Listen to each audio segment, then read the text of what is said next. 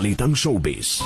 RMN News Nationwide. May mga kasama wagi po si John Lloyd Cruz bilang Best, Best Actor sa 76 Locarno International Film Festival sa Switzerland. Ito'y para po sa pagganap niya sa pelikulang Essential Truths of the Lake ng Filipino independent filmmaker na si Love Diaz. Ang nasabing pelikula ay tanging Southeast Asia film sa kompetisyon. Kasama po ni Papa Lloydy na dumalo sa Locarno Film Fest na Diaz, producer na si Bianca Balbuena, co-lead actor sa si Hazel Orencio at Shaina Magdayaw. Samantala, pinabulaan na naman ng film production ang balibalitang dumalo sa Film Fest na John Lloyd at Shaina bilang reunited couple.